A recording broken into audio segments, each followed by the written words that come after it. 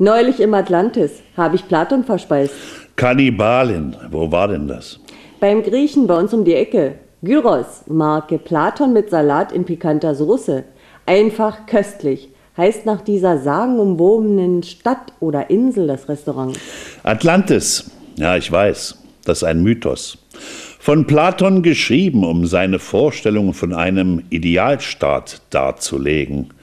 Dort in Atlantis, da ist alles so schön geordnet, in konzentrischen Kreisen und vollkommener Harmonie, wie von Göttern gemacht. Und dann, wie ging's aus? Ich kenne nur die Indiana Jones Version und die war ja, naja, ziemlich blutig. Du, das weiß ich nicht mehr genau.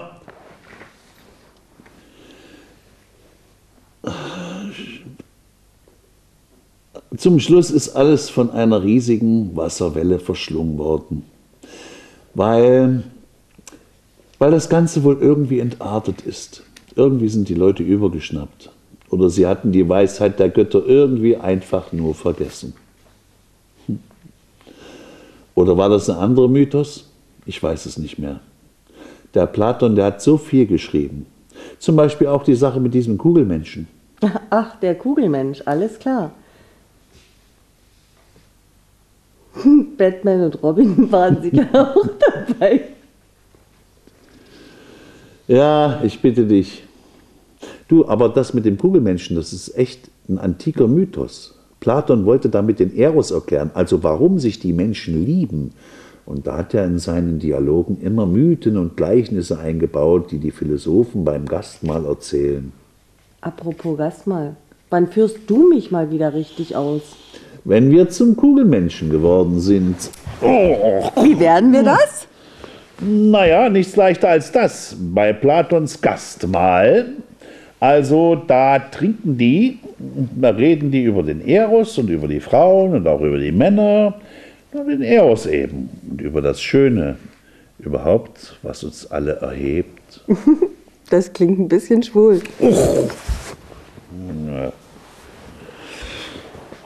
So waren sie halt, die alten Griechen.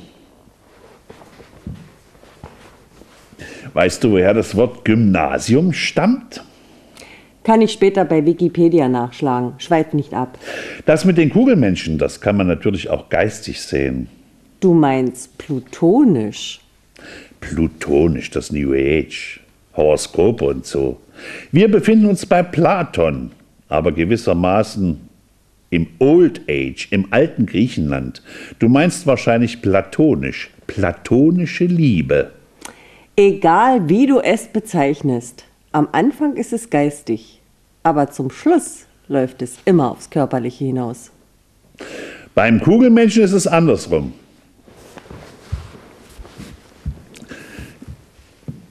Zuerst körperlich, dann geistig. Erinnert mich an einen Song von den Beatles. Wie ging der nochmal?